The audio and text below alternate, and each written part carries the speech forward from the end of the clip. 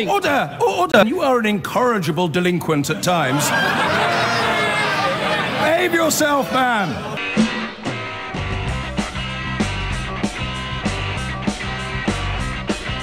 I've been going out with a girl.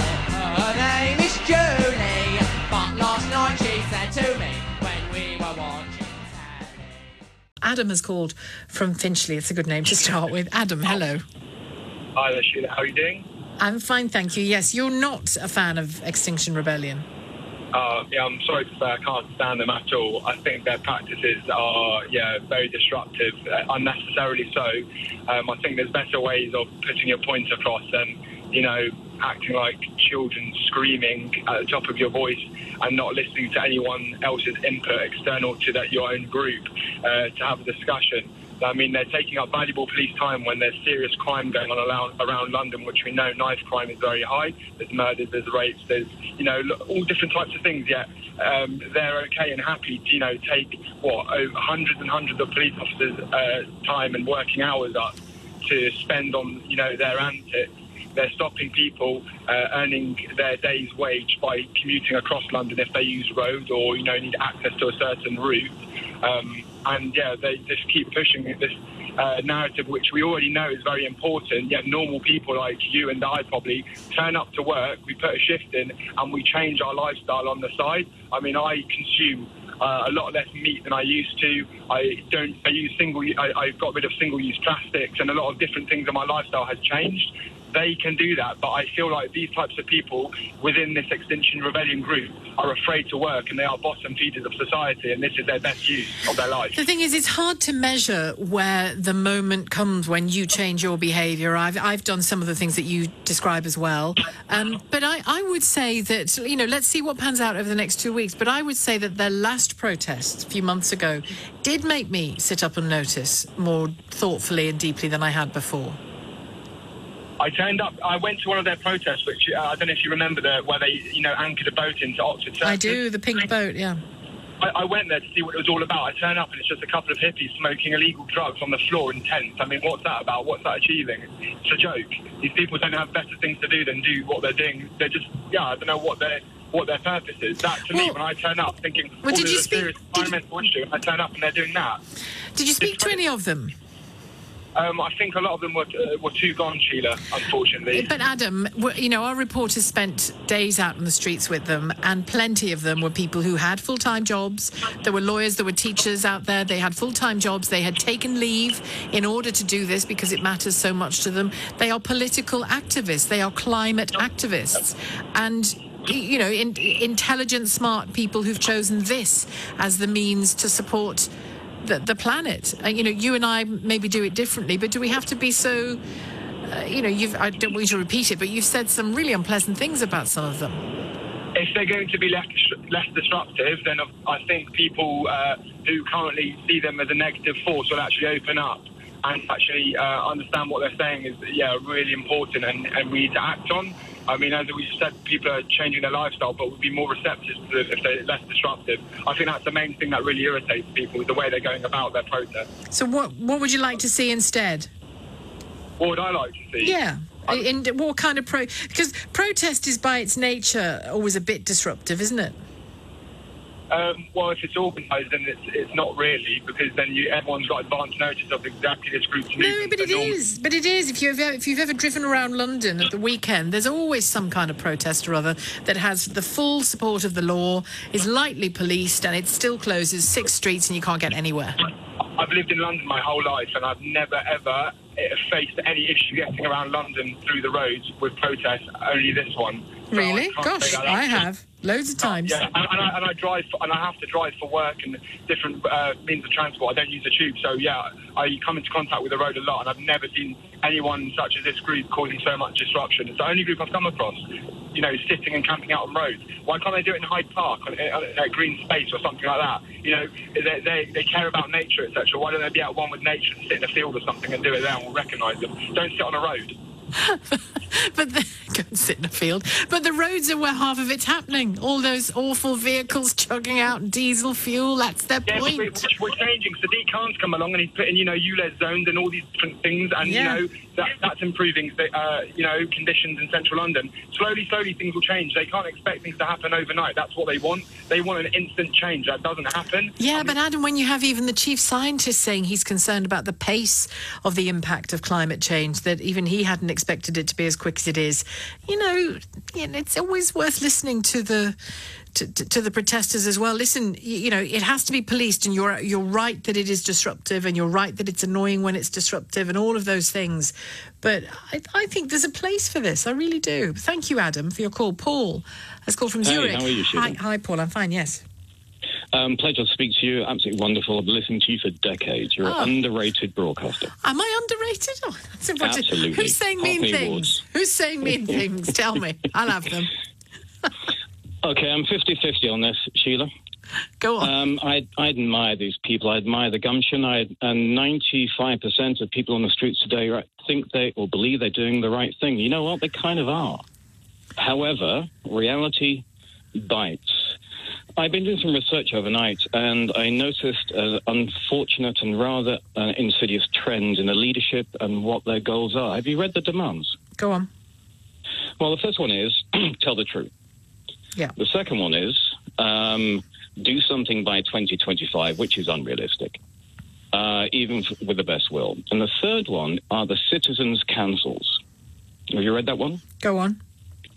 So, in some lottery system, I guess like uh, jury service, they'll select uh, 50 to 100 people from around the country, as long as it's demographic, demographically representative. And these people will then be essentially um, put in charge of government policy with no argument from the government. They'll be given access to experts, whoever their experts will be, and they will discuss, uh, a la Marxist theory, uh, the best solution, and that solution will be implemented. Now, I, But, but I you know why that won't happen, don't you? Well, and and yes, you needn't stress about it. Is is that we live in a parliamentary democracy, and that isn't how it works. but that's the, the guts of the demand of the of, of the entire motion of the entire movement. Now, I emailed them last night um, and asked them, or the woman in charge of, of these citizens' councils, how would you do the lottery? I mean, it, would it tr- be truly random? I got a response about 20 minutes ago saying, well, we've decided not to do the random lottery stuff now. Um, we'll have certain councils decide other councils who will then decide who's in charge of these citizen councils. So it truly is um, the, the standard Marxist leftist um, politic, which is we want everyone to be the same, but by the way, we're in charge. I'm, I'm not sure how you read the "we want everyone to be the same" um, from what you've just Well, told me. I've got it in front of me now. Their strategy. Um, I'm- not sure that. I mean, you're, there may be Marxists amongst them. I'm sure there are, um, but there may be. I don't know. There may be Tories amongst them. There may be um, apolitical people amongst them. or party. You know, people who aren't into any party. Um, Indeed, but as this party. thing in October took traction, or uh, got traction, clearly they've changed their opinion, and therefore they can't trust the populace, which is the whole point in the first place. The other thing that I've noticed, as many of the blogs that I was reading, and I'm not anti many of these politics, I must admit, but there seem to be tacking on to the end of this climate change stuff, which is very serious, and we have to do something very quickly through technology. Um, they're tacking on to the end of it a variety of um, partic- rather predictable leftist uh, politics, which is um, homo, uh, sorry, heteronormativity, uh, anti-trans, um, racism. You should read some of the detail on the forums. Well, I, ha- I have to. Go, I've I've got some of it in front of me here. Not not the forums, but I've got some of their um, strategy in front of me now. I, I, I have to go to the news headlines, but I'm not sure about what you meant about that in, in that last statement, Paul. But it's clear you're not a fan. Paul calling from Switzerland. Let's ask you what you think of the demonstrations today. Stupid. What do you reckon? Stupid, proper stupid. I think it's a waste of time. I think I need to go back to work. Right, you're not concerned about climate change? Hotter summers, colder winters, make more money. It's good for me. Don't bother me, if I'm honest. Well, and you can't be celebrating uh, because this is the thing you were adamant wasn't going to happen. Simon is in Reigate. Simon, what do you think? Um, Simon, you know, sort of like uh, initially I was a Remainer. Um, can you hear me? Okay. Yeah, you're Simon. I'm James. I think you might have Yes, yes, yes, got yes. the wrong false so name. initially there. I was a and I know you're pretty, pretty sort of like sort of feisty chap. I've listened to you a few times, and you know, like fair enough. But you know, like so, I was a Remainer initially, but listening to this stuff, Yeah. I have had enough. Eh, we leave with no deal, and I'll tell you sort of the thing about your love affair with the European No, Union. no, no, I don't have a love affair with the like, European Union upon- at all. A person Well, claiming to be based called upon- Simon. You, you know, you know, like it's obvious. There is something about a European Union where you have something, or a currency union where you have transfer balance of payments. Therefore, in the UK, if London takes all the tax, if London takes all the money, it transfers money to Manchester. That does not happen in Europe because Germany takes all the money. They have the positive balance. Why did you vote they Remain don't then? They don't. Tra- Why did you vote Remain? Why? Why? Initially, because I worked in the banking sector, but now that I look at it, they So you didn't you didn't look sector. at what happened with money when They you worked in the banking sector. They didn't look at the ramifications. The banking sector cannot move. Like you know, Well, the- so why did you vote Remain then? I, I'm confused. No, I Are you saying you only you only looked into the financial side of things when you were working in the banking sector? But James, but this is what you're doing. It's it's it's really annoying people. I didn't say that. I said. Why, I why did you vote voted- Remain, Simon? I didn't vote Remain. I would have had sympathy for it. But you clarify. began the call by saying you did vote But Remain. now, but now, I don't. And you know now what sort of it's three to four years of this stuff. No, no, you definitely Michel said at the beginning that you voted to Remain. James, Simon, this Simon, Simon. I mean, it doesn't matter how many do. times you say my name. I'm going to keep asking you the same question. You came on the radio. You said I voted Remain. This is what you're doing. You just sound like horrible. Listen, in in in April 2017, Michel Barnier said he would have done his job properly if he put in front of the UK a deal that was so bad that we had to turn it down. And there is Simon, who, who both did and didn't vote to remain in the European Union, but um, came to a much better understanding of the financial implications after he'd stopped working in the banking sector. And, and that is what you're reduced to, ph- phoning up a national radio station and contradicting yourself in the space of 90 seconds. And then, of course, insulting the person that's asking you the questions, because you can't win an argument, you can only attack the arguer. And, and I mean, I take that, I get paid for it, that's fine. But most people don't get paid for this. You need to explain how you've gone from being absolutely adamant that the whole no deal prospect was never going to happen. The EU were going to fold. The German car industry was going to gallop to our rescue. They were going to blink. It's not happened. It's not happening. The people that told you it was going to happen either made a mistake or told you a lie.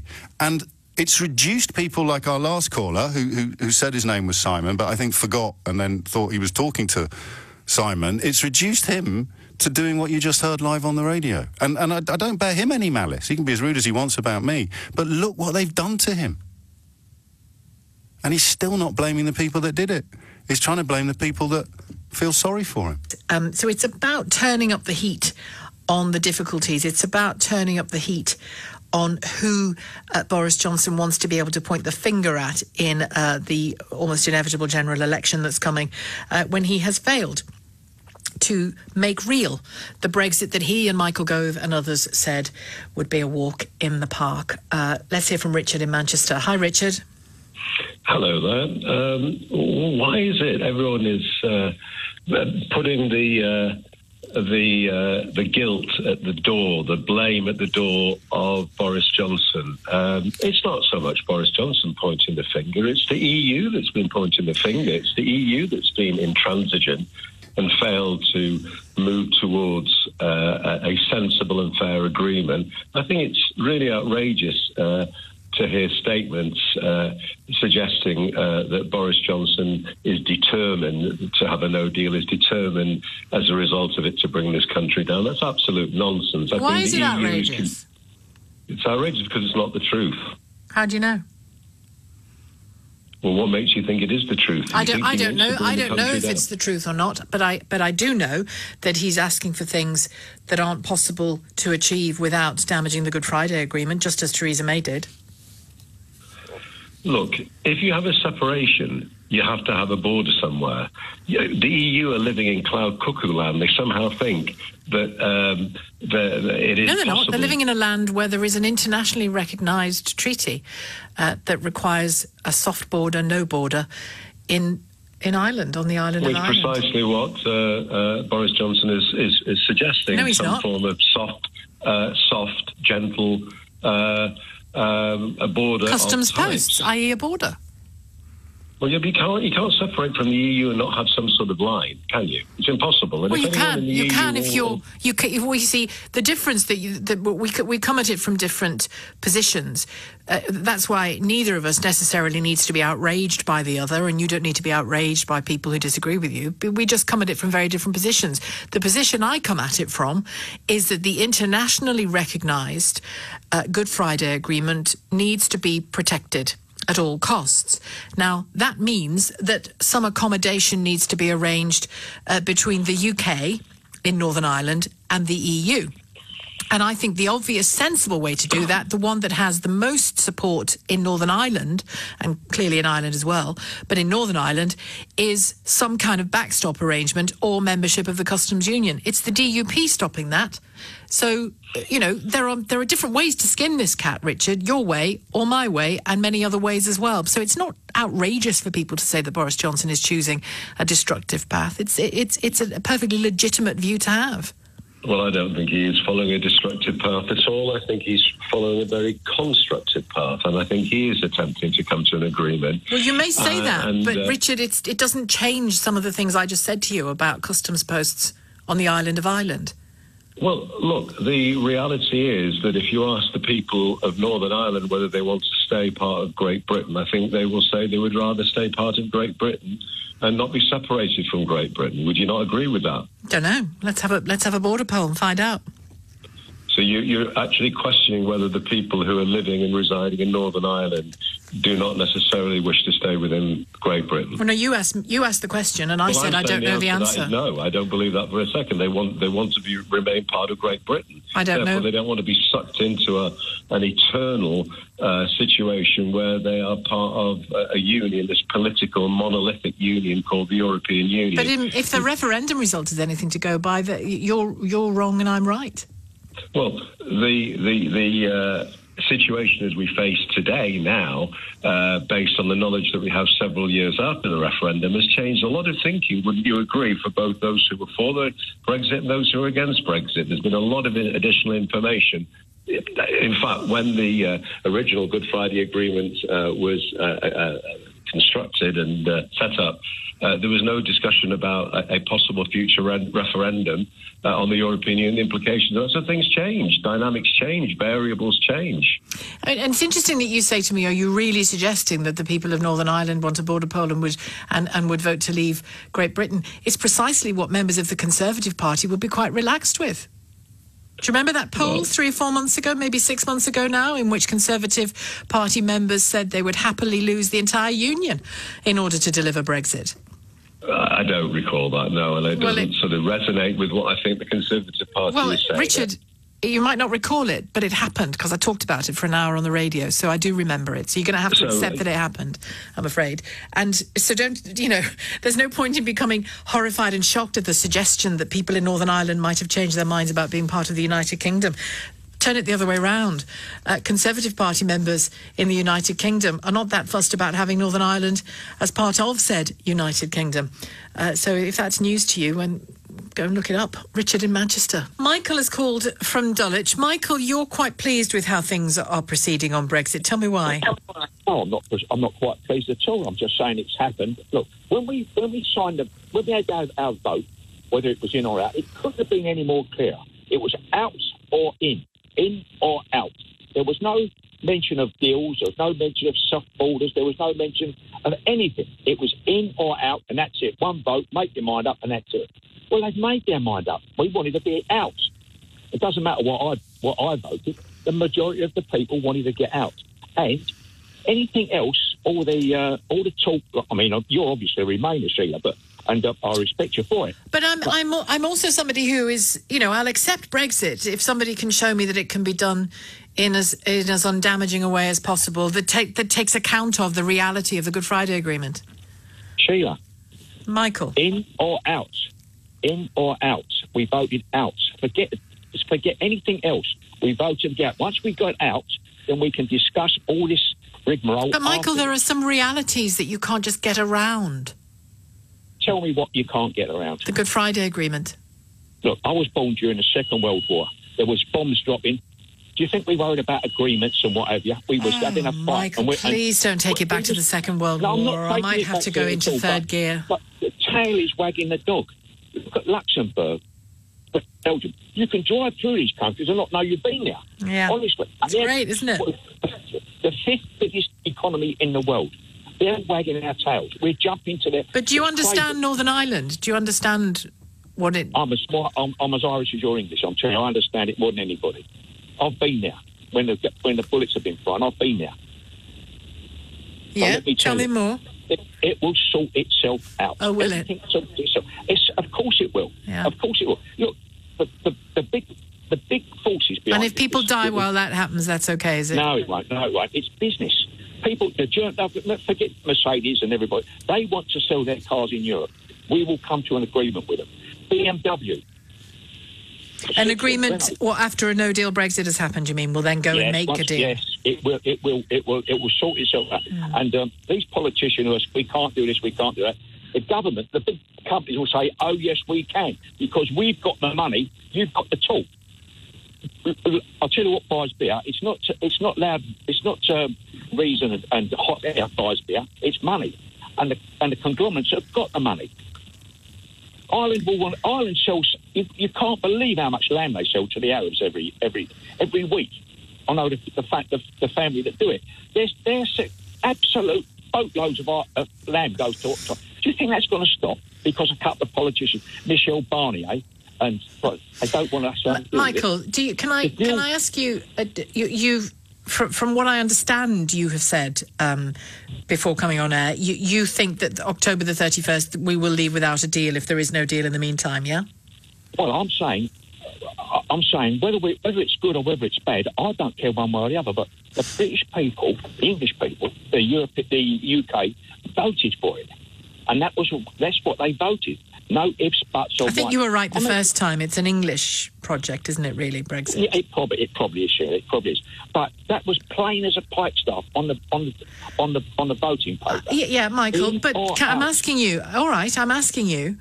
And they voted whether you think because um, I, you know the whole question of whether sovereign whether parliament is sovereign or not whether parliament is you know our, our ultimate power and i believe that it still is um, that's why it's annoying boris johnson quite as much as it is. But do you you seem to think that on october the 31st we can just leave even though the law currently says that we can't and even though the prime minister himself has said that he, he that he won't allow that to oh, happen because the law stops him from doing so?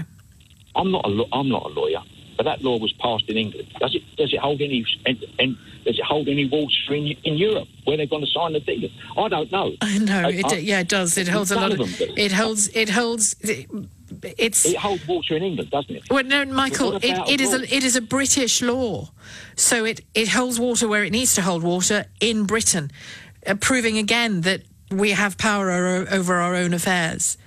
Well, I don't know, see. I, I- Well- I mean, let, let's let's be fair. At the end of the day, it's not what uh, I think or you think. It's what Mercedes-Benz thinks. It's what Renault thinks. It's what Peugeot thinks. You reckon? It's what ICI, British Petroleum. It's what they think. Yeah. Honestly. So what's been going on in Parliament over the last few months that's caused You know, Boris on, you've seen Johnson them. to get so hot They- under the collar? Well, because he's not. They're not, they're not letting him do his job, are they? Well, all those representatives of all of those companies you've just mentioned sitting in Parliament. Well, I think uh, I, I, they, they. I don't know. I'm not saying people. What, what are you suggesting that the parliaments are taking backhanders of these big companies? Or, or No, you seem to be suggesting that. I'm, No, I'm, I'm not I'm, suggesting that at all. I'm pointing out. I'm pointing out that it isn't uh, Renault and Mercedes and all the other people you mentioned who are having this battle royal over Brexit. It is our sovereign parliament having that battle. Exactly. What's, what's having a battle is a bunch of uh, politicians. They've never had another job in their life, most of them. All right, Michael. I'm going to leave it there. Thank you. That was interesting. Acutely aware that this word causes offence, and I wouldn't knowingly cause offence because too much of has happening at the moment, but also where I can't tell you the story, particularly as many of you get up at 8 o'clock in the morning without using the word. I know I've used it a couple of times already, but I'm going to have to use it again, and that I'd ask we respectfully try and moderate our language. And if you think, as so many people are saying, oh, now you've become a snowflake, why are you not saying the word? Just if you know that something you say, you are aware it causes offence to other people, why would you say it? Why would you say it? In other related conversations, I never, uh, those golly dolls now, I always refer to as a golly doll because language evolves. And I grew up at a time when this word I'm about to say was used for Germans all the time because it was only, it was less than 20 years after the end of the war that I was growing up. So there was obviously people still felt it very keenly. They and others had tried to bomb us out of our homes, as we had done to them too. But I don't know that it speaks necessarily for today, uh, for my children, or indeed for my grandson. I can't imagine that they will view people in that fashion, and I don't know that it's exactly healthy. So, what is it? It's a poster from the Brexit campaign group, Leave.eu, come under fire from politicians over a racist and insulting advert. Well, it's, it's certainly insulting and it's certainly wrong. Is it racist? If you haven't seen it, here we go. There's the poster with the Leave.eu logo at the bottom. Uh, they've managed to catch Angela Merkel, the German Chancellor, as if she's giving a Hitler salute. She's, I'm sure she's waving to someone in the crowd, but it could be interpreted thus. It is on the lbc.co.uk website, lbc.co.uk, and the text is We didn't win two world wars to be pushed around by a Kraut. It is demeaning. Is it racist? We'll discuss that with you in a moment. Godfrey Bloom is author, blogger, and former MEP, both as an independent and UKIP, and joins me now. I understand, Mr. Bloom, you don't have a problem with this word. Is that correct? Good morning. No, I don't. I don't have a, a problem with it at all, and neither did Twitter. Twitter's getting stricter and stricter, but they haven't. Uh, they made uh, an, uh, uh, an observation it was no breach of their rules. Look, it, it depends where it starts, doesn't it? I mean, uh, every nation or most nations have nicknames that are generally uh, given to them by most of the world. So you have Paddy's, mixed Jock. Oh, is offence to others, Mr. Bloom? Well, first of all, it isn't racist. It can't be because the British and the Germans have exactly the same gene pool. So you would have to be supremely ignorant to call it racist. We are of the same race. We are different countries, but of the same race. So we can kick that into touch straight away. Is it offensive? Well, I looked at that poster, and I have to tell you, I'm speaking to you from Yorkshire, which is uh, very heavily uh, leave. Right. Uh, and that's how most people in the pub up here in Yorkshire feel. That's how we feel. And that's what the poster says. And if anybody's taken offence, uh, well, you know, I'm very sorry, but that's how it is. In what way is Germany pushing the United Kingdom ara- uh, pushing them around? Uh, well, basically, the European Union is is is really led by Germany. It's a it's it's a German uh, sponsored and German funded institution, uh, and really the uh, the uh, leader of it, of course, is Angela Merkel. But is, is that not because Germany is the most senior partner as regards resources and, and finance? Of course it is. And I take no issue with that. That is absolutely true. Uh, but what she is actually saying is that if you don't break off part of the United Kingdom permanently, there is no deal, which most of us actually find very offensive. So never mind about her being offended or the Germans being offended. We feel offended. I'm offended. So, you know, that's how it is. I'm grateful for your time. Godfrey Bloom, thank you. You serve as MEP for UKIP as an independent, and you're an author and blogger too. As I said at the top of the show, and I've said many times, I was a reluctant Leave vote. When I hear this sort of thing, it, I just find it intensely embarrassing because it doesn't speak to me. God's sake, let's just get on. I mean, we're British. We've stood alone for years. Let's just do it. You know, I mean, I was watching a thing with the Queen. There's, there's billions of people in the Empire. Let's get back to being the British Empire again. That's what it's all about, you know. It's about being a British Empire. Okay, thank you. Did anybody here vote to remain? No. No, you're not gonna- you're not gonna get any No, I'm sorry, I'm in the wrong- No, I think you're in the wrong country. Uh, Mike is in Alcoutim in Portugal. Mike, what would you like to say? Oh, just going back to your point earlier where you said you feel sorry for Leave voters that are lying to themselves now. Yes. But uh, I, I'm not lying to myself. I, Well, well, then I don't. to Then you're not one of the ones I feel sorry for. Then. Ah, that's okay then. So why did you But I- vote to I leave? think I, I voted to leave to leave the EU. Yes, but why? Why? Because I don't like the way the money is wasted. For example. Um, just going into their posh building for four days a month. Right. I mean, what is that all about? It's a parliament. Yeah, but why can't they continue doing what they're doing in the building they're in? Why do they have to move everything, all the paperwork, to another building for four days a month? Why is that? Well, I suppose if we were in the European Parliament on a on a more robust level, we could be agitating to change that from from inside, couldn't we?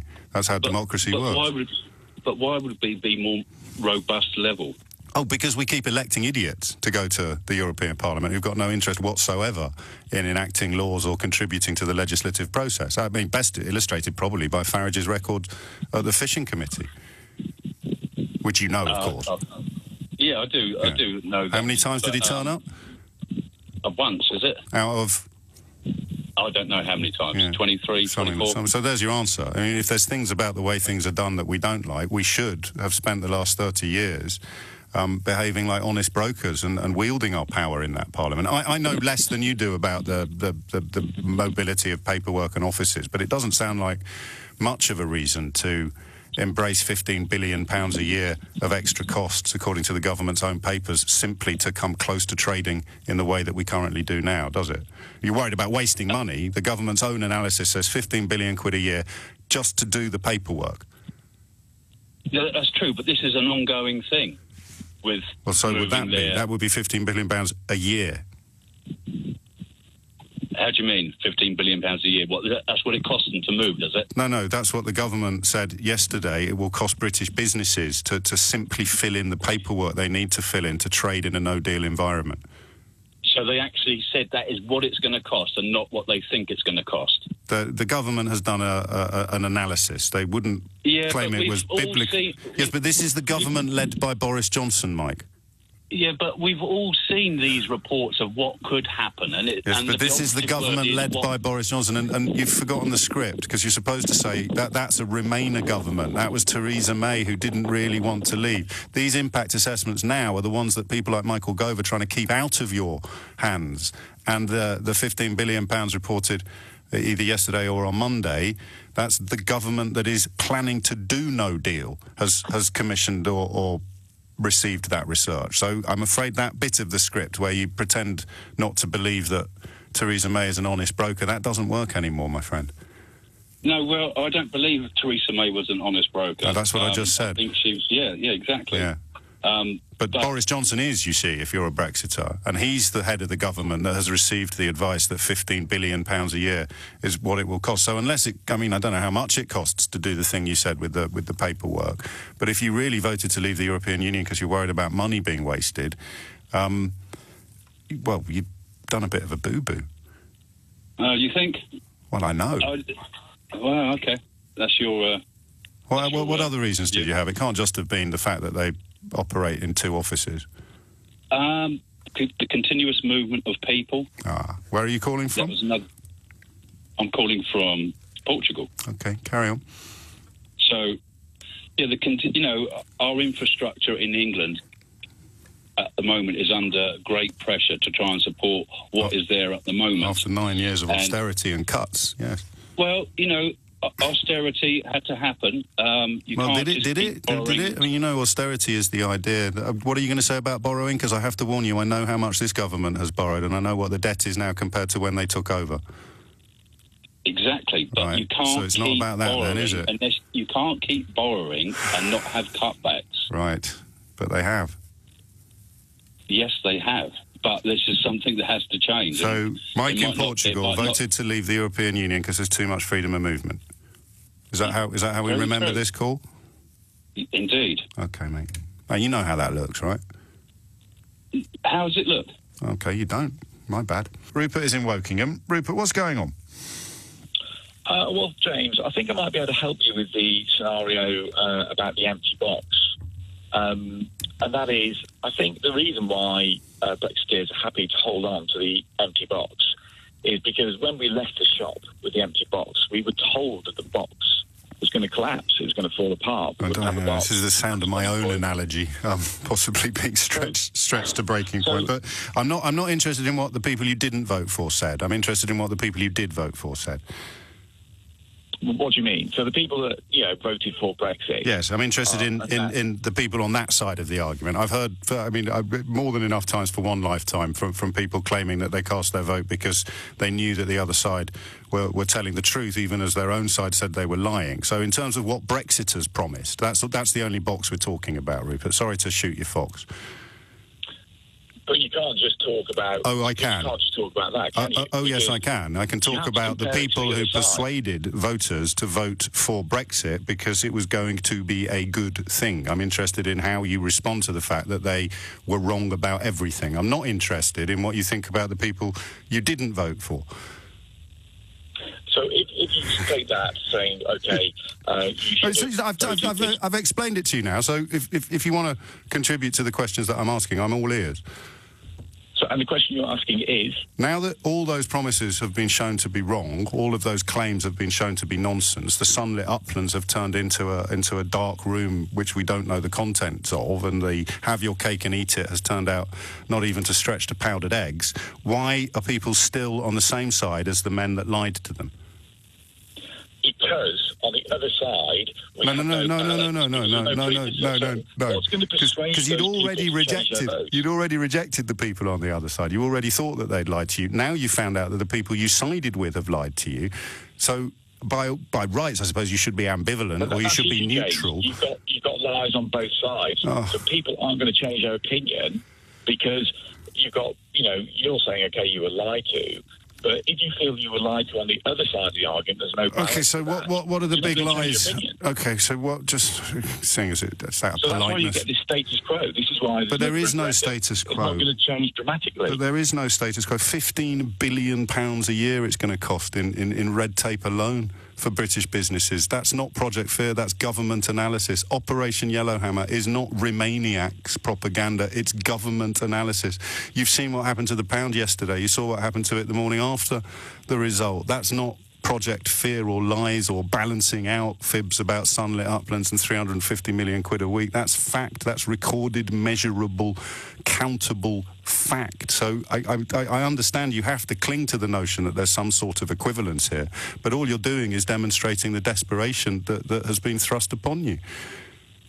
Well, you're, taking the pound. You're right. The pound did devalue after the Brexit vote, but And, uh, and yesterday as well. uh, but a week later it actually closed up higher. So Which is why I just added and yesterday as well, when no deal looked more likely.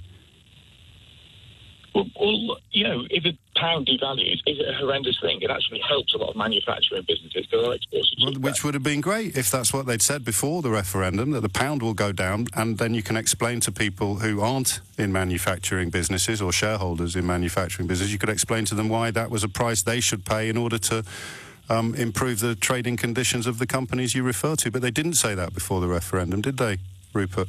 I, I, think my point is that unless you Just see answer, an at least answer, downturn- at least answer the question, Rupes. Well, no, unless you They didn't say any of that before the referendum, did they? No, they didn't. Right, carry on.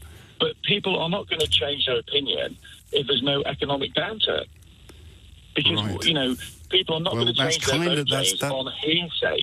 Hear, the moment- hearsay. Exactly. Okay. Exactly, because at the moment there's no definitive uh, result that is, you know, gone into economic catastrophe. But we're not And talking about happens, economic catastrophe. We're talking about sunlit uplands. We're talking about having your cake and eating it. We're talking about the easiest deal in human history. We're talking about the German car industry refusing to countenance any possibility of us crashing out without a trading agreement. We're talking about Digby Jones knowing that was true. We're talking about Liam Fox knowing it would be, or believing it would be the easiest deal in human history. We're not talking about anything else. We're talking about all of the people who lined up to tell you things that have turned out not to be true. We're talking about Michael Gove insisting that no deal was not even a vague possibility. Daniel Hannan insisting that the status of European Union citizens living here would in no way be affected. We're talking about all the things that were stated and that have already been shown to be untrue. You can't counter that by saying, well, some of the stuff may still turn out to be true.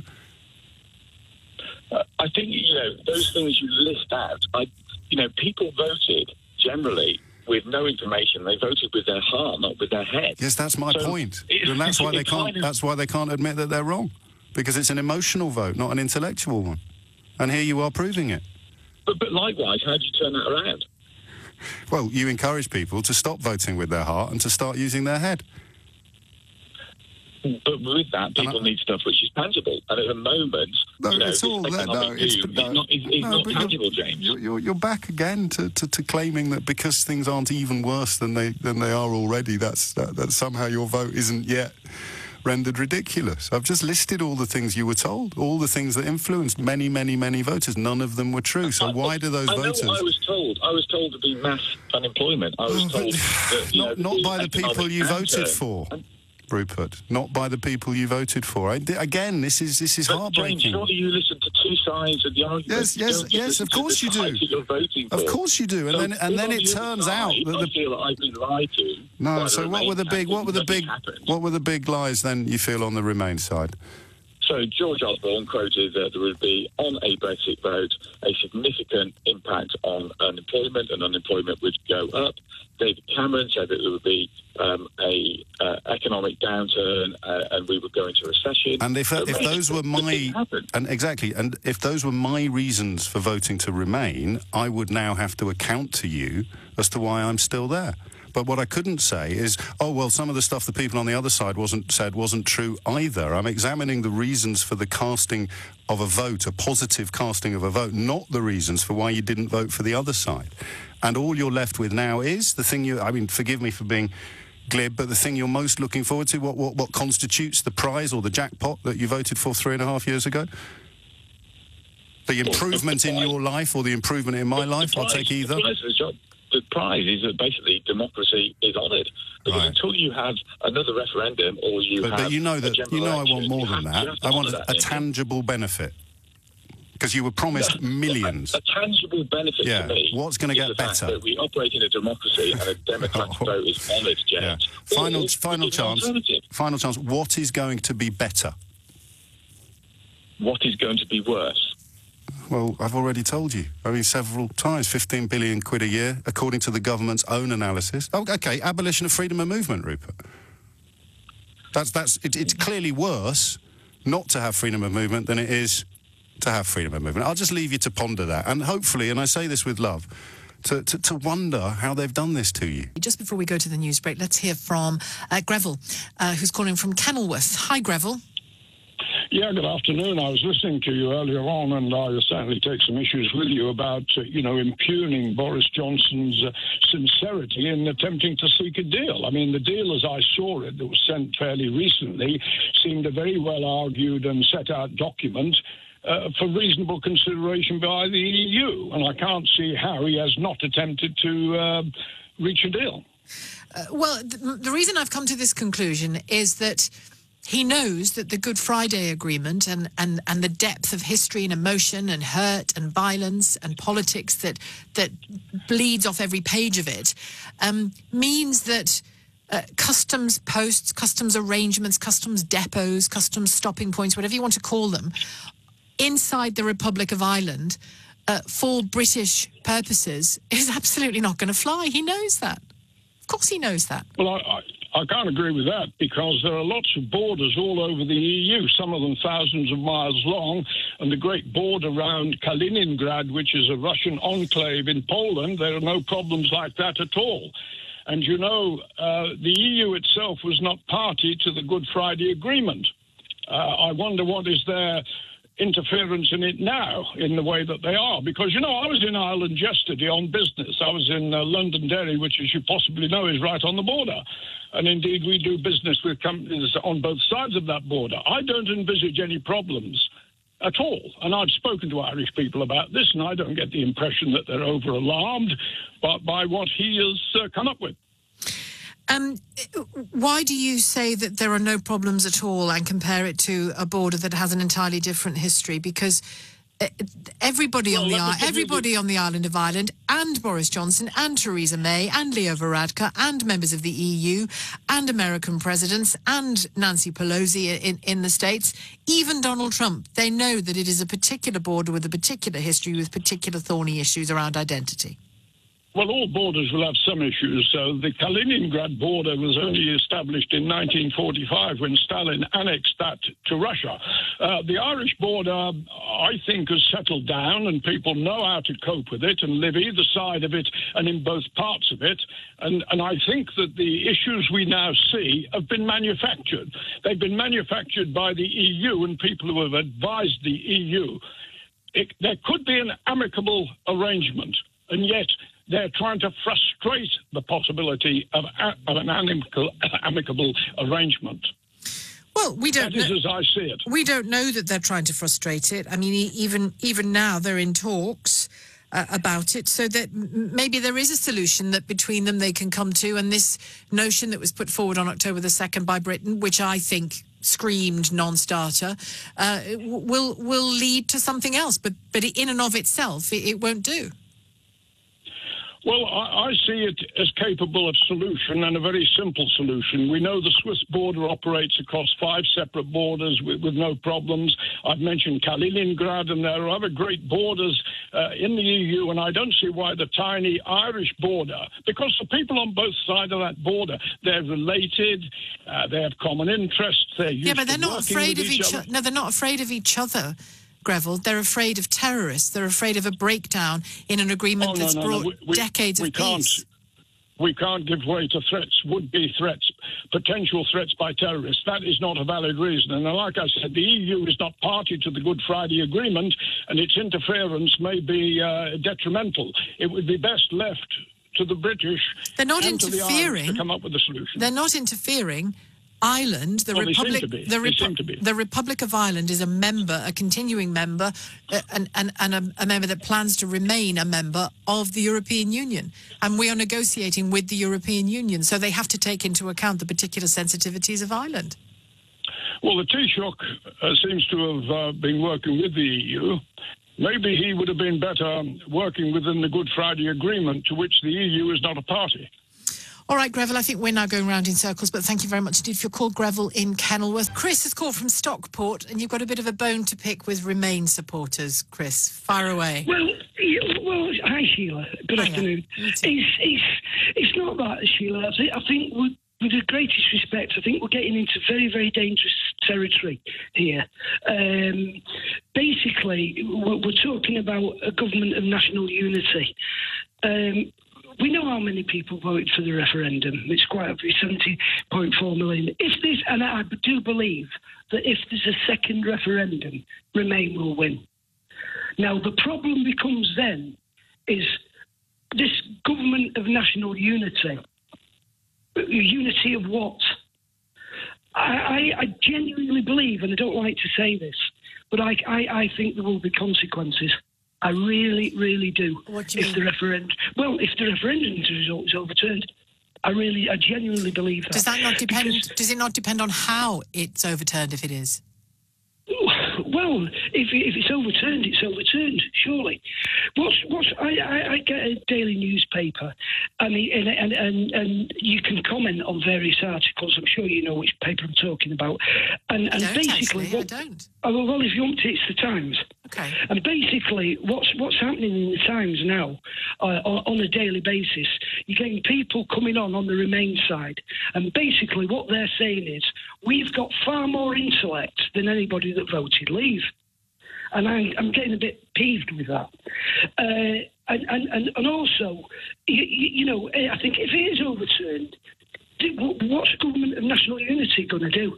I, I just can't see how that's going to solve anything because people, Shelagh, and, and I- I'd be one of them. I would do anything, but I, I'd be very, very annoyed if it got overturned.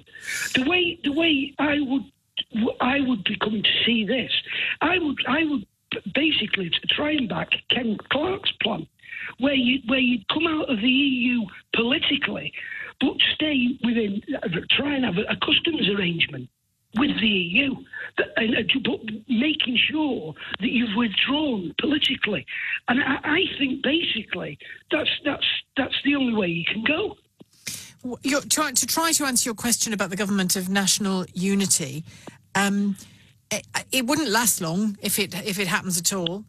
Um, But where would, where would the unity The, the, I th- my- my understanding of that title for said government, if it happens, is that it, it is about Parliament saying to the sitting Prime Minister and the sitting government, no, you've lost our confidence. And when a Prime Minister formally loses the confidence of Parliament, he or she falls, and the Queen is allowed to say, see ya, um, as long as she is confident that someone else has the has Parliament behind him or her. So it would be the unity of Parliament as much as anything else, and as as much as an it wouldn't be some kind of ongoing national unity government for the next two but, years. But, but, but, but they can't agree on that, Shelagh, can they? Because No, nobody, they nobody, nobody with the right mind. I'm a Labour voter, right? And I resigned from the Labour Party the day Jeremy Corbyn got elected because I know his past. Now, the kids don't, unfortunately, but people of my age, unfortunately, do. And I resigned from the Labour Party the day Jeremy Corbyn got elected. I would never. I, I, that guy couldn't run a sweet shop. Never mind the country. Uh, so, the, the, and, and Jo Swinson quite rightly says she won't work with him.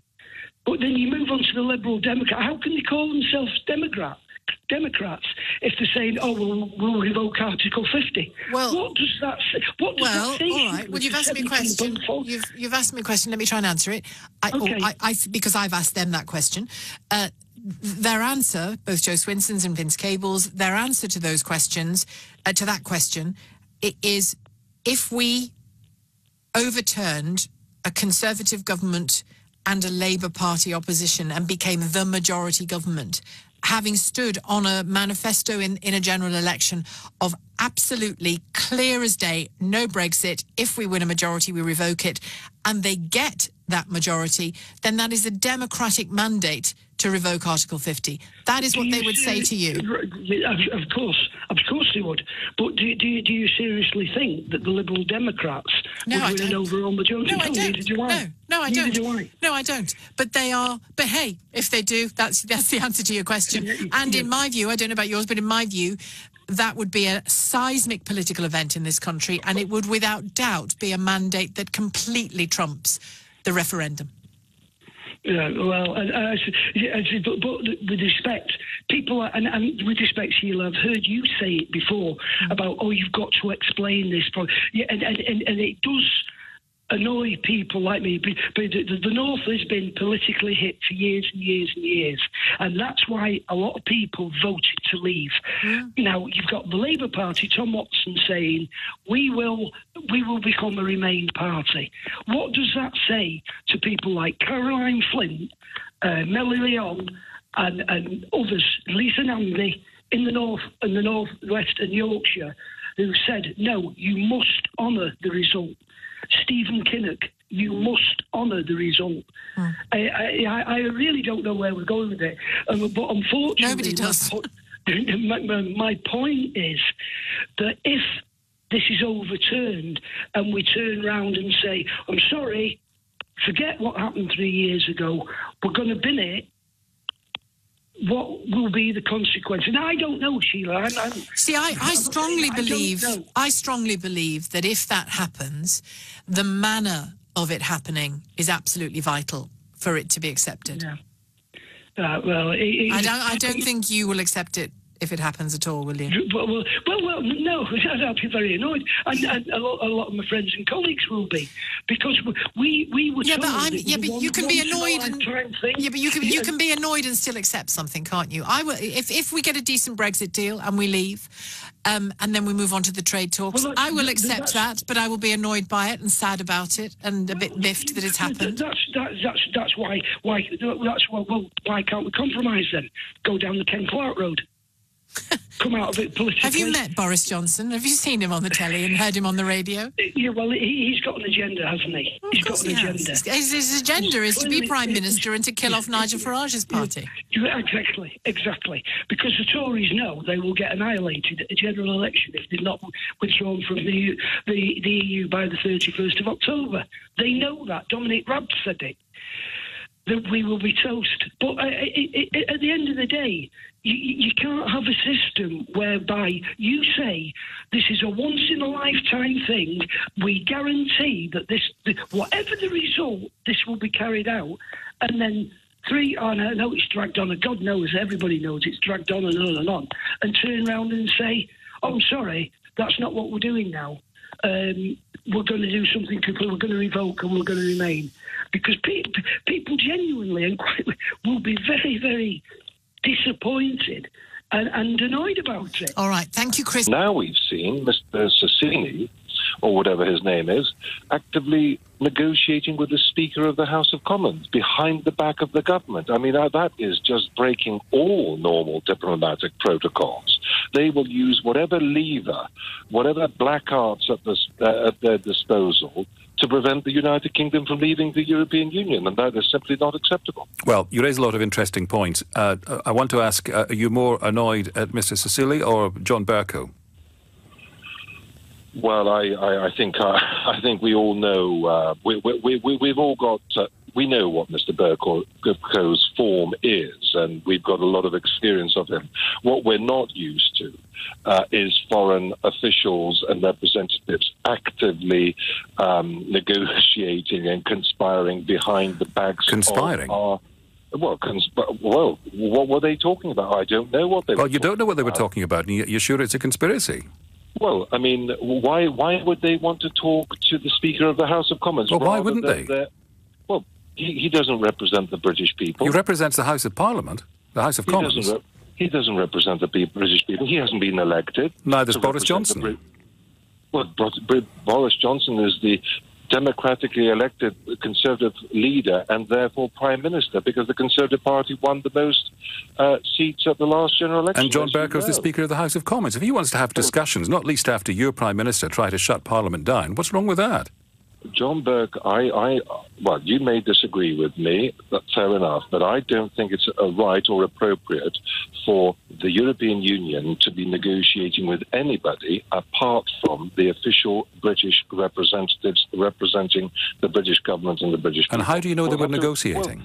We'll have to neg- we'll have to agree to to, to disagree. Well, I'm, I'm not we're- we're stating a point of view. I'm asking you to explain yours. You've told me there's a conspiracy, and you've told me they're negotiating. Where's your evidence?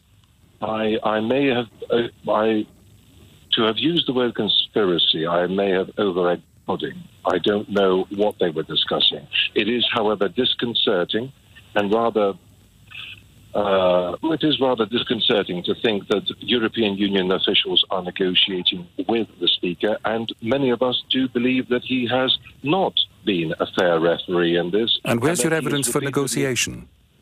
Back the Remain side. Well, they, they've clearly had discussions. I've been Discussions, yes, to- that's different from negotiations. We're having a discussion, Well, but we're not negotiating I- anything. I've just I've just been listening to Mr. Mr. Sassini in the European Parliament on Twitter, where he has. Have you watched um, his speech in the European Yes. Parliament this afternoon? Uh, and did he not say in that speech that he had been meeting with the Speaker in order to ensure that before we leave the European Union there is some general election or referendum? Is that not is that not a prelude to some sort of discussions? Well, well, you're talking now about a prelude to discussions where you were telling me a few moments ago several times it was a negotiation. Um, Jim's at Heathrow. Jim, um, what would you like to say? Well, good morning, James. Hello, um, well, I'm a leaver. Uh, I'm an ardent leaver, and I've got no qualms about having a second referendum. Well, would, would you rather have that than an election? Well, let me explain why. If we Well, have no, a hang on. general Just, just, election, just, just, just yes or no. Do- You'd rather have Yeah. a referendum than an election? well, yes, I could Okay, explain cool. why if you yeah, like. good. No, I just wanted to be clear. That's the position you were explaining. Right, if there's a if there's a general election, we all know Boris will smash it, and there'd be Brexit, probably no deal. But if there's a second referendum, You, came, Oh, oh, you, oh, you- sorry, you know, he had a meeting. He had a meeting yesterday, after which about sixty odd Conservatives were temporarily persuaded that he wouldn't campaign on a No-deal Brexit. Yes, but like I say, in the general election, you get Farage's Brexit Party and the Conservatives fighting against each other. Yeah, then Boris will probably still win. But if there's a second referendum, you've got the two most current formidable politicians this country has in Boris Johnson and Nigel Farage fighting on the same side. Which, which Nigel Well, Farage? Not, not the one who failed to win a seat eight times. Yes, but who, who orchestrated the vote vote leave in 2016? Now, No, he, he wasn't Boris- in Vote Leave. He was in Leave EU. Leave Vote, EU. Vote Leave was, got- was if we've got Leave EU Boris- the organisation that just apologised for those racist anti-German posters, right? Okay, if we've got No, is that is that the organisation you're talking about? Are you going to let me finish? Yes, of course. Just say yes or no. Is that the organisation you're talking about? The one that just Yeah. apologised for the racist anti-German posters? And what nationality are Farage's children? Uh, I've got no idea what your uh, nationality Half is. German, mate. But you crack on with the most formidable Right, politician in the Right, country. we've got the most formidable, two most formidable politicians in the country. Lost to a dolphin on the- one time, didn't he? On the leave Didn't he side. lose to a man dressed as a dolphin once? Uh, let me ask you a question. Who's going to be fronting the side for Remain in the second referendum? Well, I, I kind of think, off the top of my head, I might fancy it. Well, say it'd be you versus Nigel Farage and Boris It's happened, Johnson. it's happened before, Jim. Look it up. Good, good luck with that. Yeah, you should look it up. So anyway, you know what I do now. What What are you most looking forward to about leaving? What am I most looking forward to about leaving? An echo. Not signing up to the European Army, not having my kids conscripted What when they're 16. Right, just go away and Google that, will you? Uh, veterans of Britain, look what they're saying. Look No, what Steve no, no, Baker's saying. no, I don't- Brexit hard man, Steve Baker. Jim, you're, you're better than that. Just go away and do. Google stuff. I- I do- don't need no, to you Google do. stuff, information I already have. No, but you haven't got information. You've got falsehoods. Uh, do you know what PESCO is? Just go away and Google. Will British people ever be conscripted into a European army, whether we leave or remain? Go away and Google. The, do you know what the word veto means? Yeah, we lose our veto once the Lisbon Treaty kicks in in 2022. Oh, Jem, mate, that has been rubbish. That stuff you read on Facebook has been pulled apart by everybody, and you haven't noticed because you think it's information rather than lies. Lisbon Treaty's Like- done like- and dusted, like, Jim. Like the lies in, like the lies in Project Fear. No, Project Jim. Fear No, nothing like that, Jim, because what you've just described is written down on your Facebook page, I'm describing... not, I'm not on Facebook. Well, okay, then on, uh, it's come through your letterbox. The Lisbon Treaty is finished. It's done and dusted. There is nothing that happens in 2022 as the result of the Lisbon Treaty. This isn't an argument. This is me saying two plus two is four, and you saying, hang on a minute, I think you'll find it six. Well, that's two different opinions. No, no, no, no, no, no, no. Two plus two equals six is not an opinion, Jim. Two plus two doesn't equal six. Two plus two equals four. Right, and the Lisbon Treaty is done and dusted, mate, and nothing kicks in in 2022. Nothing at all. And we will have the power of veto over any future European Defence Force or, or European cooperation. But when you look I, I would not. I would not trust Juncker, Barnier, Tusk. No, well, no, of course you won't, because you trust the man who can't win a by-election against a fellow dressed as a dolphin. Them. You just don't like Farage, do you? oh, there's a plane going overhead. Yeah. Well, anyway, got to go. Work to do. Yeah, of course you have. Oh, every single day. We do get along great with the Kurds. We're trying to help them a lot. Don't forget, that's their territory. we have to help them. I want to help them. Go ahead. What's next? They fought with us. They fought with us. They died with us. They died. We lost tens of thousands of Kurds died fighting ISIS. They died for us and with us and for themselves. They died for themselves. But they're great people. And we have not forget. We, we don't forget. I don't forget what happens someday later, but I can tell you that I don't forget. These are great people. And when it comes to expressing any allegiance with the Kurdish forces, the US partners, here's what the president had to say. Now, the Kurds are fighting for their land, just so you understand. They're fighting for their land. And as somebody wrote in a very, very powerful article today, they didn't help us in the Second World War. They didn't help us with Nor- Normandy, as an example. They mentioned names of different battles.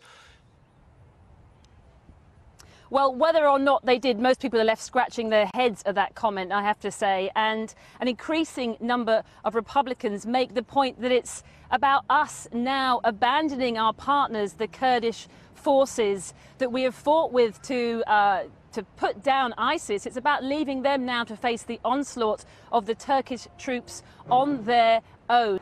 I just want to say one thing about what President Trump said. He said that the Kurds did nothing on the Normandy landings and so on. I'm sorry, the Kurds fought with the British in Iraq against a pro Nazi coup during World War II. The Kurds fought on the side of the West. And as one man, just Kurdish man, just said to me now, once again, he said, We the Kurds have been thrown to the wolves. I'm going to squeeze Richard in in Winslow. Wim, is it, is it Wimslow? Wimslow. Yeah, Buckinghamshire. Um, my Oh, MP is John Bercow. Um, I was listening with great interest to the uh, the guy about the um, figures. If ten percent switch from Brexit to Conservative, then they'd have a majority. Now, in Buck, I've voted fifty years for the Conservative Party. Recent years, I've gone for. Um, UKIP, and I would vote Brexit because I'm sick to death of being strangled by the EU and dishonourable MPs. Um, In what way are you strangled by the making- EU? Hang on, hang on. The point I'm Oh, okay. making is that if I and 5,000 others where I live change from Brexit to um, back to Conservative, it wouldn't make the slightest bit of difference in my constituency because it is such a strongly Conservative constituency. So the only difference where a change of uh, Brexiteers to another party, Conservative or whatever, would make a difference is in marginals. And my question is, did that um, chap factor that into his calculations? Because it's all very well saying if 10% of Brexit came across, you'd get 44%, but you wouldn't necessarily because in hard Conservative strongholds, um, as I say, another 5,000 Brexiteers in my area who voted Conservative wouldn't make much difference. We'd still get a Conservative, not John Bercow this time back. Okay, well, it, no, it won't be him, will it? He's not standing in. But, uh, but I, I need, Yeah. I need to get a sense from you of in what way you believe the EU was strangling you and in your life.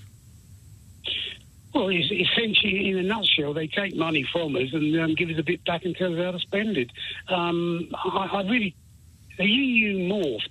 I voted to join the EEC way back 75. We weren't given a choice, as you know, we were taken in. That was a trading organisation of half a dozen consanguineous na- uh, nations. We've now moved, morphed into um, this federal system that want their own army. They want to force um, uh, the euro on people. They should never have let Greece in and wreck their poor economy. Uh, and there's so many other things I could go into.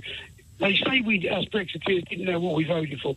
Well, I didn't know when I voted uh, to leave that once a month they move lock, stock, and barrel from Stras- from Brussels to Strasbourg just to appease the French, and that cost about 1.3 million pounds. Okay, uh, you clearly could go on forever, Richard, but I'm afraid I can't. It's the end of my programme. And it's tense here too in DC for President Trump with the impeachment inquiry continuing. His attempts to stonewall it have not been successful. Every day there are def- uh, depositions and every day there is new evidence.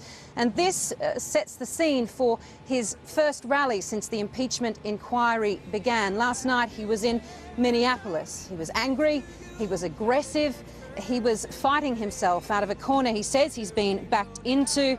He says Democrats are sick and deranged, and he told the crowd that they just want to erase their vote. And in her home state, he singled out Congresswoman Ilhan Omar and said that she is an American hating socialist. Everything about Omar is a fraud, including her name. Scott reports his sources told him that, quote, Omar's legal husband was Omar's brother and that she had married him for fraudulent purposes. You mean like coming into the United States, maybe? Like so many of his insults, there is absolutely no proof that she married her brother. In her words, uh, she says it is absolutely false and ridiculous. He is well known for his very personal attacks, but this tirade last night was stark in its offensiveness.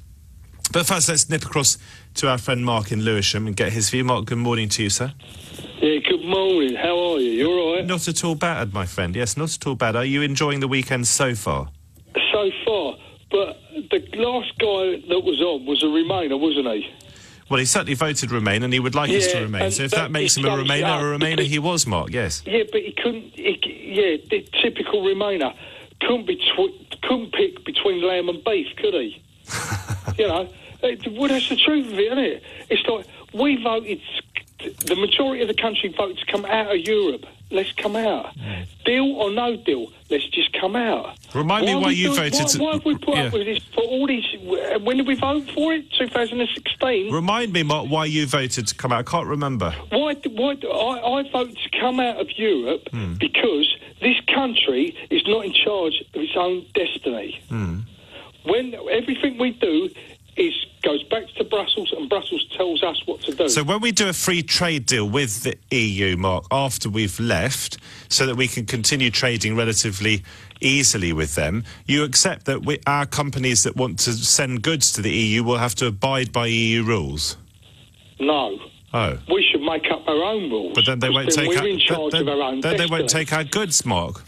Well, trade with other countries then. Ah, trade with other countries, we- even though to- e- even though the EU is this massive trading bloc, a massive Europe, market on our doorstep. That's just a little bit silly, isn't it? Oh, because it's on our doorstep. We have to depend on it. Well, it makes sense, doesn't it?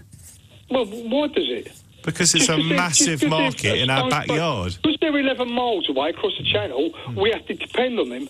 No. So in the meantime, we, we, we're trying to strike some free trade deals with the rest of the world, will we? How quickly do you think we can do that? Or do you, think, do you think it'll all be fine on WTO rules? It will take time. Everything takes time. Are, It's are you an exporter, Mark? Hold on, hold on. You're saying to me about it takes time. Yeah, it's taken us time to come out of It Europe. has, indeed. Are you an You know, exporter? three years. So, so why don't we just wait three years to make up free trade with other countries? Do you export goods yourself? Do I export? Mm, yeah. Do I export goods? Yeah. No, but I've, I've worked in this country all my life. What do you do? What do I do? I'm a heating and ventilation engineer. Do you think that whether we leave or not, other than whether or not the economy sinks and it will, if we have a no deal Brexit, likely suffer and possibly or probably go into recession? But beyond that, how do you think Brexit would affect you affect you negatively? Affect me negatively? Yes. Well, it's hard to say because it hasn't happened, is it? But what we do know is that it could make life very something? difficult for can you exporters. Do you care about your fe- do you care about your fellow men and women who export for a living? Um, yes, Hmm. but it's, it's all it's all a lot of this. A lot of what's going on now Hmm. is scaremongering. Oh, don't do this, don't do that. By I mean, whom? How do we know? Do you think We I'm haven't done it. scaremongering? We haven't done No, we don't know, but there are all How sorts of we, things How we- can we yeah. say this is going to happen, that's going to happen? We don't know anything's going to happen, Mark, because we can't any of us be certain of what's going to happen in the future. So it relies on our best estimate. Now, I'm not scaremongering because I've told you quite explicitly, and I'm not playing games with you. I've held this line for years now that I think we do need to come out of the EU because people like you, Mark, in your great wisdom, decided that we should in a narrow majority on the 23rd of June 2016. So I'm saying let's get out. We've got to get out.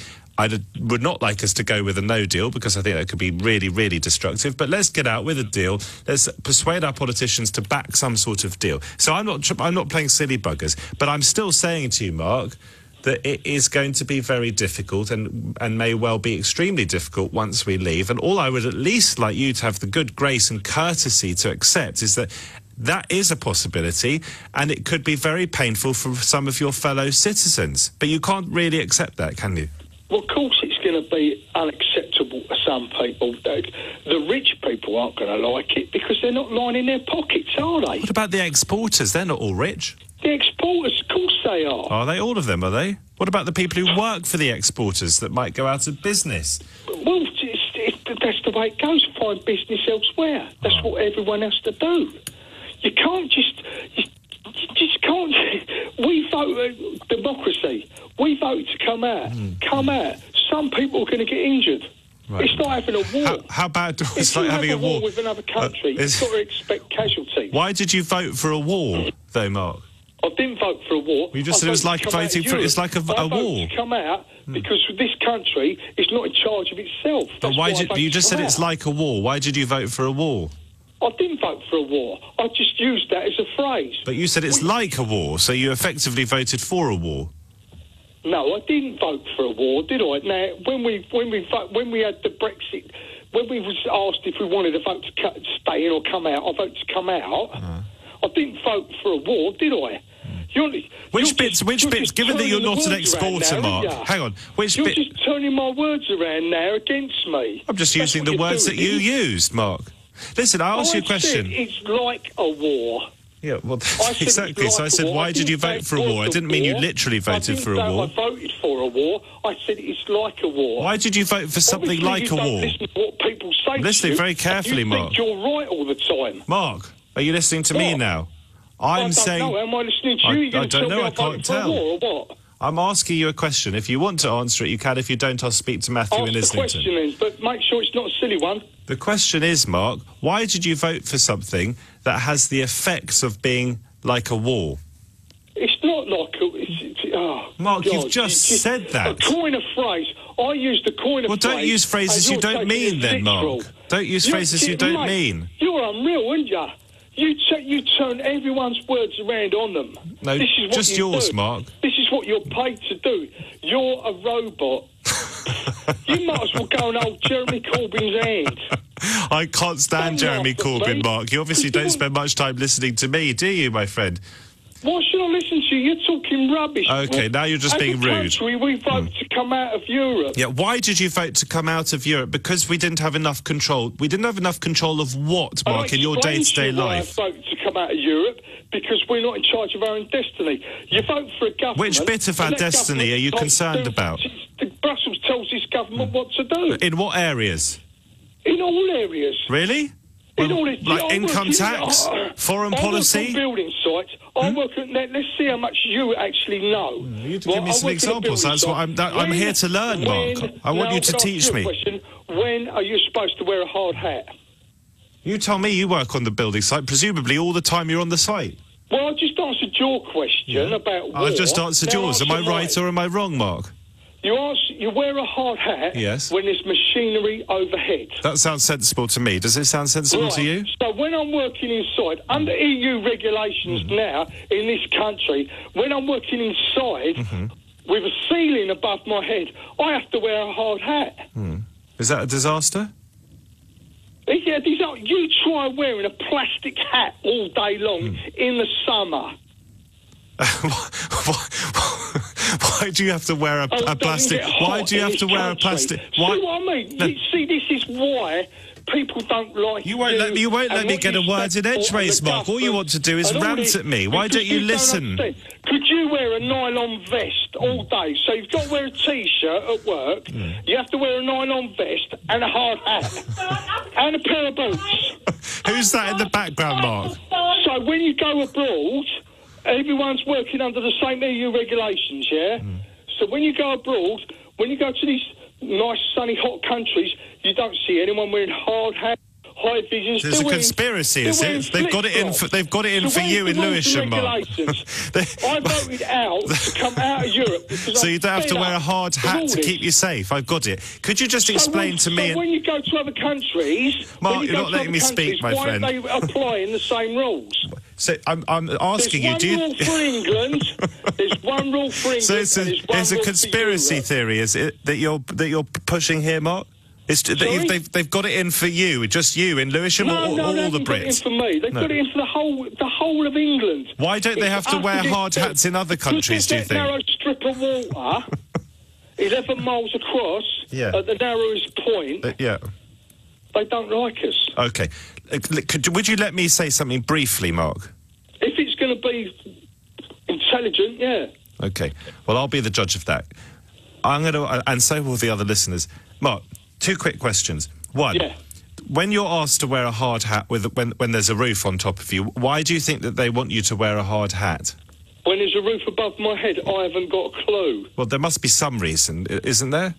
Ask, ask someone. Ask someone in Brussels. Could something fall on you, perhaps? Sorry, Could something fall on you? what the ceiling above my head? Well, I'm asking you.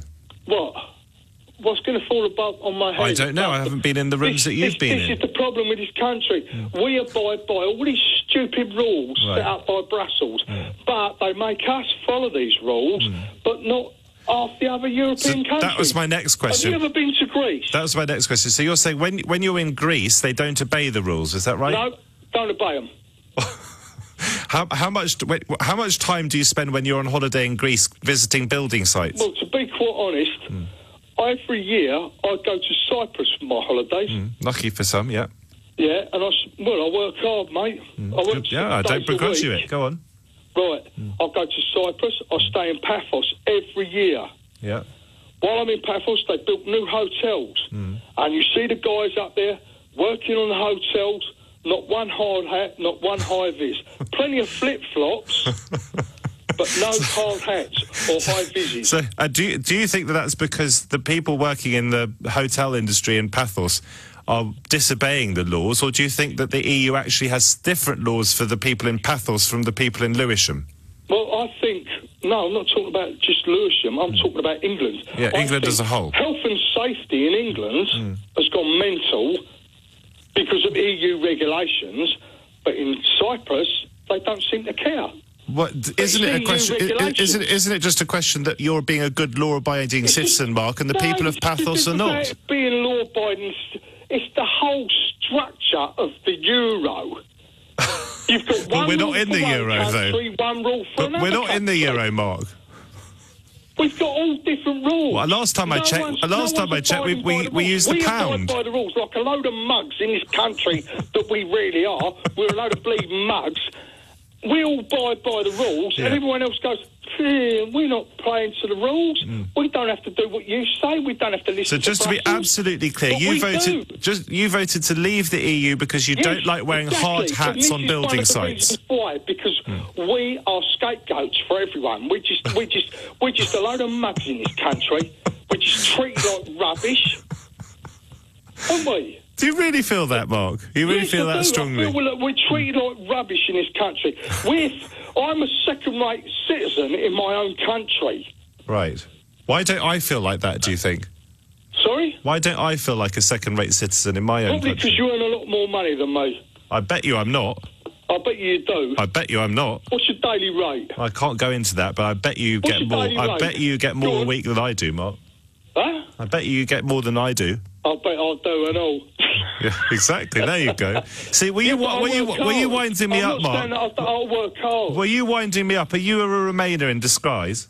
No, I'm not a Remainer. Do you know what? Do you know that bloke who stands up at Westminster there with a blue hat, top hat on? Not personally, no. No, no. Well, you've seen him on the news, haven't you? Loads of times, haven't you? Hmm. I've bawled him out a couple of times about remaining. Why is it so? Why is it? Because we voted out, they can't accept it. Now then, if we vote, if we had a general election hmm. and Labour got in, hmm. we'd have to accept that, wouldn't we? Accept what? So why can't they accept that we voted out and let's get out? Why can't Jeremy Corbyn accept it? Let's get out. Well, some people would suggest he'd rather like us to be out. Mark, very good to speak to you. Very jealous of your holidays and your high earnings and your work ethic. And I'm very sorry that you have to wear hard hats on building sites. Not quite sure that's a particularly good reason for leaving the EU, but each to their own. I know